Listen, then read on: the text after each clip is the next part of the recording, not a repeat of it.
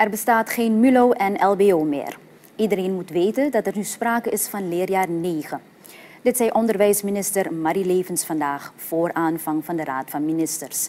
Ze ging in op vragen over onduidelijkheden bij ouders met betrekking tot de nieuwe structuur van het onderwijs na de lagere school. Er bestaat geen MULO en er bestaat geen LBO meer.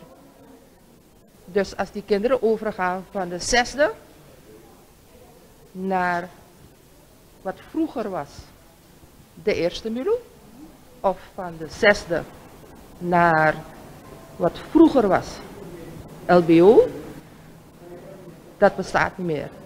Leerjaar 9 bestaat en dat is voor iedereen hetzelfde.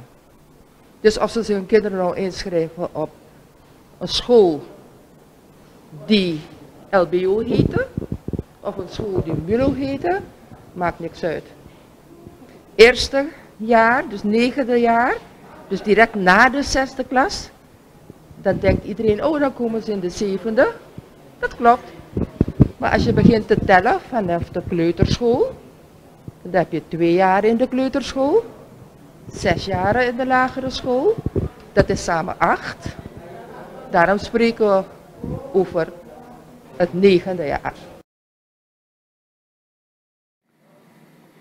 Levens zegt dat het negende jaar voor iedereen hetzelfde is. Pas na het tiende jaar volgt een examen waarna de leerlingen kunnen kiezen welke richting zij op willen gaan.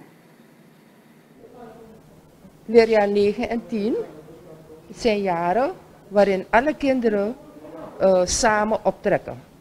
En pas in het tiende jaar komt dat examen waarin ze mogen kiezen.